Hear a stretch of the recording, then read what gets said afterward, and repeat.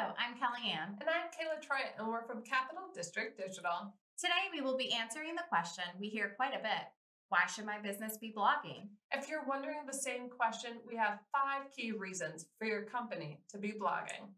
Number one is to relay information to current and potential customers. This can include company announcements, tips and insights, and industry news. Number two is that blogging is free marketing. There really is no good reason not to blog when it's completely free marketing tool at your disposal.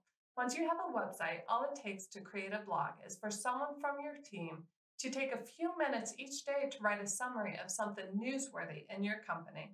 The third reason your business should have a blog is that search engines, most importantly Google, love blogs. Having new and updated information on your website will tell Google and other search engines to go back to your website to review it and rank it amongst your competition.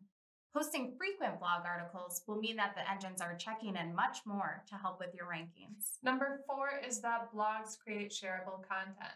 Building great content and providing helpful tips and insights for people can make your company seem like a knowledgeable leader in the industry. When people see you creating great content, they will be more likely to share it with others. Lastly, blogging increases traffic to your website. This can be someone finding your blog in the search engine, which leads them to take a deeper look at other pages of your website. Or someone sees your blog shared on your company's or someone else's social media, which leads them back to your website to make the click to contact you or hopefully make a purchase. We hope that you found these tips helpful. If you would like more information on blogging, please view our corresponding blog post on capitalwebseo.com.